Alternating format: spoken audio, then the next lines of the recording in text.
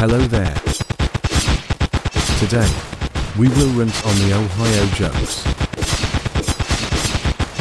1. The jokes are not funny. 2. The meme itself is dead. 3. People will us these jokers so of cool. 4. People use these jokes in serious situations too.